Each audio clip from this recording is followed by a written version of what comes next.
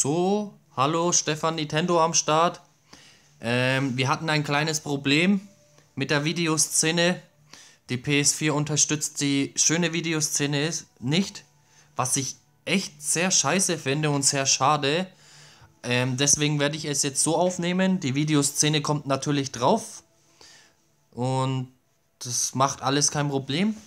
Ähm, es ist so, wir waren jetzt beim, ähm, beim verheißenen Land und da war jetzt Sephiroth und jetzt kommt gerade Sephiroth und will Iris mit der Katana töten. Schaut her.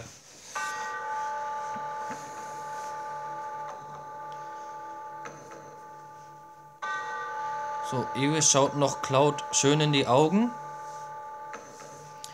Im letzten Part hatten sie ja gesagt gehabt, dass sie vielleicht ein gutes Pärchen abgeben bei Cave Sith. Das ist aber jetzt nicht mehr der Fall. Jetzt passiert nämlich das hier. Und das war's. Sephiroth hat Iris mit der Katana getötet. Und Cloud war direkt davor gestanden. Und sieht dabei zu, wie sie stirbt.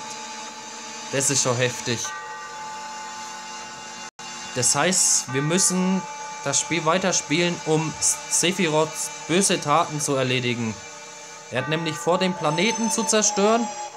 Und das Dorf Nibelheim hat er auch damals in Flammen gebracht. Also er hat eine Stadt zerstört, er hat die beste Freundin von Cloud ähm, getötet. Und ähm, jetzt will er den Planeten noch zerstören. Das müssen wir verhindern. Und er geht zur Stadt, zur Stadt und tötet einfach äh, Menschen, nur dass die äh, Marco-Energie den Planeten absorbieren. Was wiederum gut ist, aber natürlich sollen die Menschen dafür nicht sterben und das müssten wir jetzt demnächst verhindern. Und das war's dann schon an der Videoszene. Okay. Dann bis beim nächsten Let's Playen. Bis zum nächsten Mal. Stefan Nintendo. Ciao.